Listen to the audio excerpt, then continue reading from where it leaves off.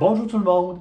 Euh, Aujourd'hui, dans le tutoriel, je vous montre comment créer un rayon de lumière. Comment faire pour simuler un rayon de lumière qui tomberait sur votre sujet. Alors, euh, la technique consiste à utiliser des filtres linéaires dans le nouveau module masquage de Lightroom. C'est une technique qui est très très simple. Ça vous permet de créer un rayon de lumière et de simuler un rayon de lumière qui éclaire votre sujet. Alors, la photo que je travaille aujourd'hui, c'est une photographie qui a été prise au centre-ville de Montréal.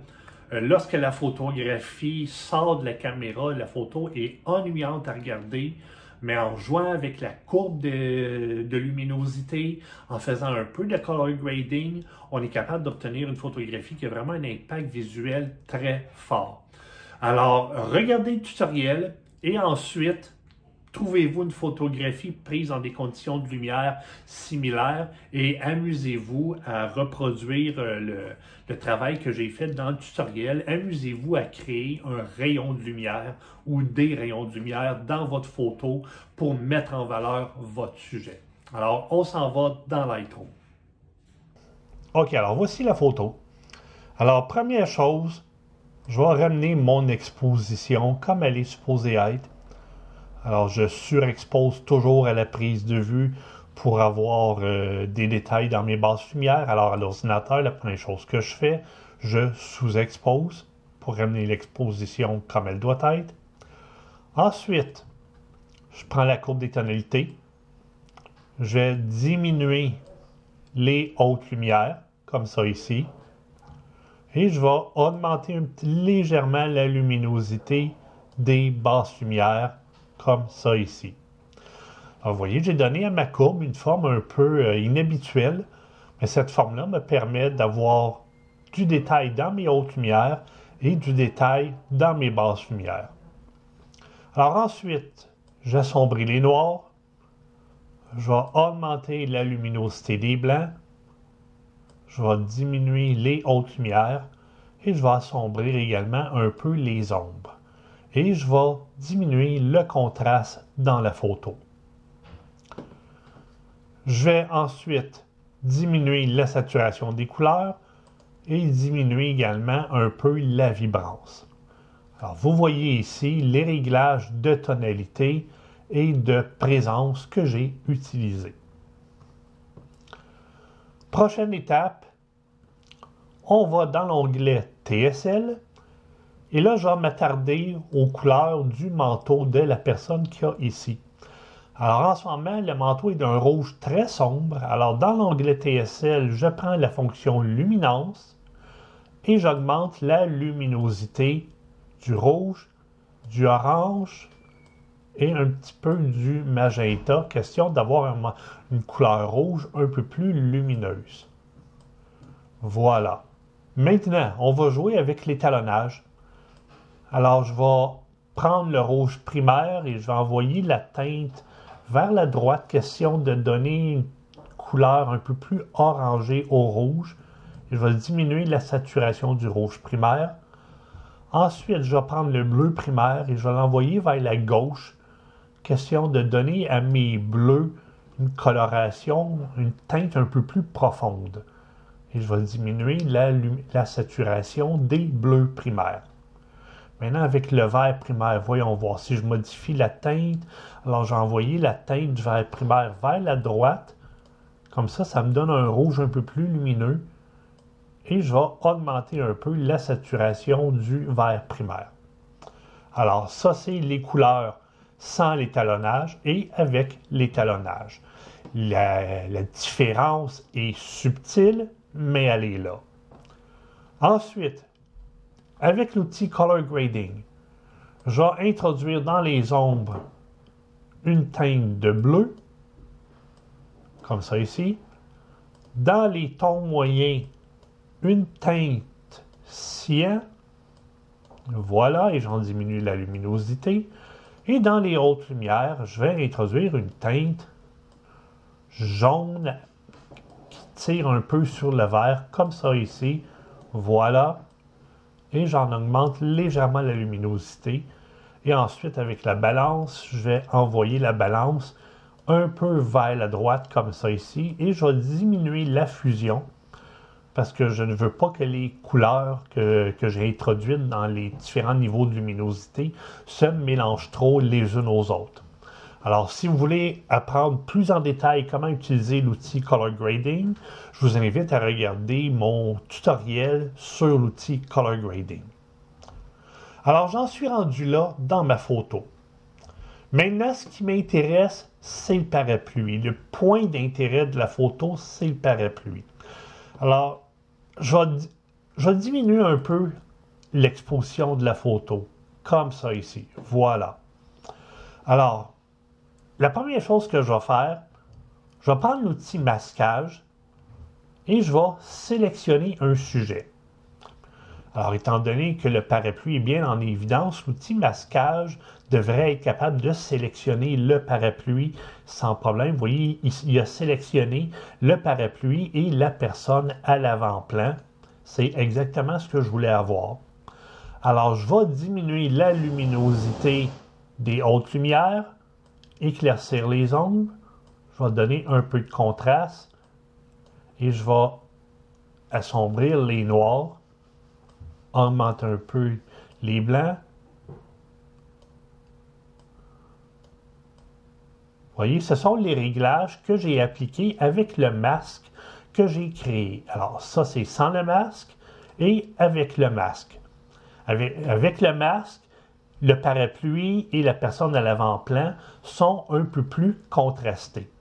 Alors, vous pouvez voir ici les différents réglages que j'ai appliqués avec le masque qui affecte le parapluie et la personne à l'avant-plan.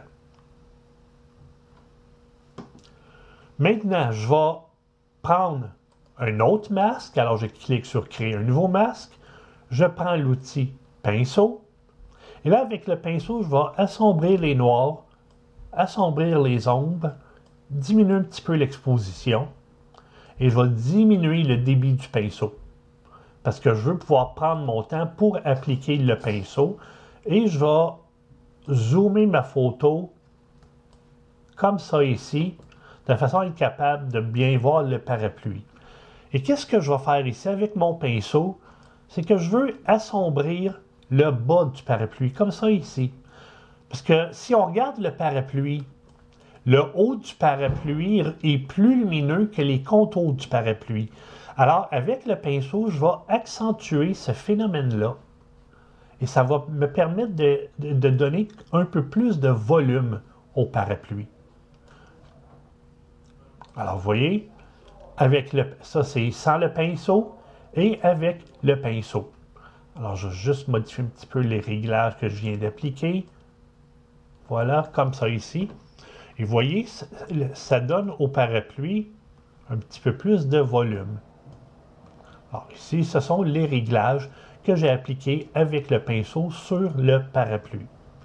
Alors si on regarde la photo avec le pinceau et sans le pinceau, eh bien sans le pinceau, le parapluie n'a pas tellement de volume, mais avec le pinceau, ah, le parapluie devient un, peu plus volumineux. On voit le 3D dans le parapluie.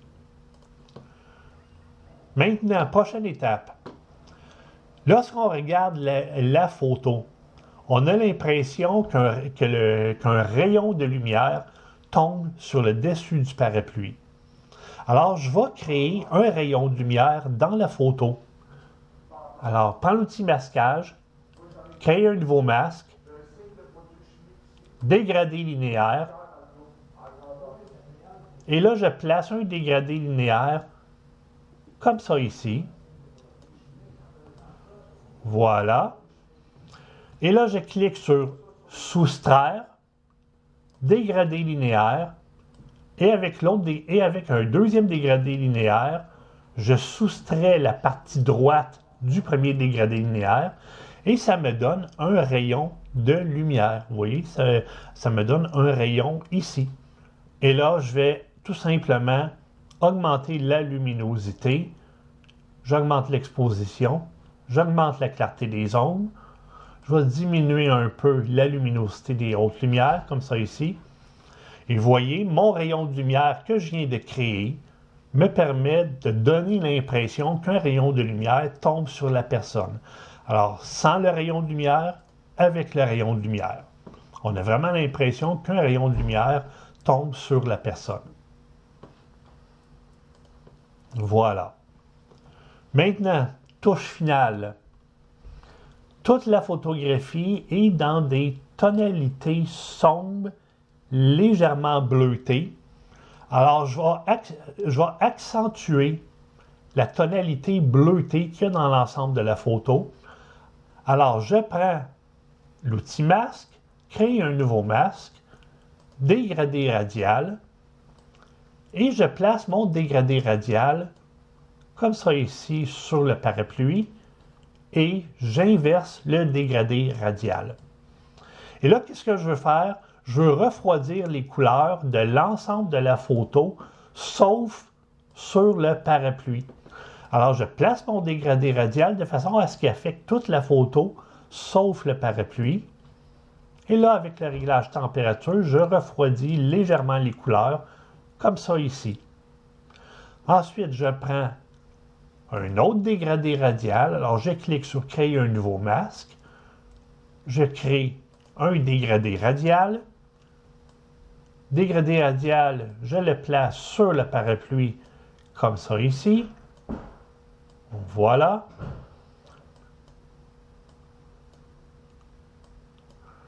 Voilà, comme ça ici. Et avec ce dégradé radial-là, je vais réchauffer les couleurs du parapluie comme ça ici, et diminuer un peu la luminosité des hautes lumières. Alors, en réchauffant les couleurs du parapluie, eh bien, je crée un contraste de couleurs entre le parapluie et le reste de la photo, et ça fait en sorte que le parapluie se démarque encore plus. Ensuite, les lumières des autos qui sont hyper saturées, je trouve ça très agaçant à regarder. Alors, je vais zoomer ma photo. Je prends un pinceau. Et avec le pinceau, je vais localement diminuer la saturation des couleurs. Comme ça ici. Je désature les couleurs et je vais diminuer la luminosité des hautes lumières. Alors en faisant ça, ça me permet d'éviter que les couleurs ici fassent des taches ultra saturées. Alors, je diminue la saturation des couleurs, je diminue les hautes lumières et avec le pinceau, je passe sur les phares des autos. Voilà. Et ça me permet d'éviter d'avoir des taches de couleurs euh, désagréables dans la photo. Finalement, je recadre la photo, alors je vais utiliser le ratio 4 par 5 et je vais cadrer comme ça ici. Non, je vais utiliser le, ratio 5 par 7. Voilà. Et je cadre ma photo comme ça ici. Et pourquoi pas un petit peu de vignettage. Voilà. Comme ça, juste pour assombrir les contours de la photo. Et pour que ça soit vraiment très subtil, j'ai utilisé un vignettage incrustation de peinture. Alors, le vignettage incrustation de peinture va estomper très délicatement la lumière autour de la photo. C'est un vignettage qui est vraiment très subtil. Et il faut vraiment être en mesure de comparer la photo avant-après pour voir l'effet du vignettage. Alors ça, c'est la photo sans le vignettage et avec le vignettage.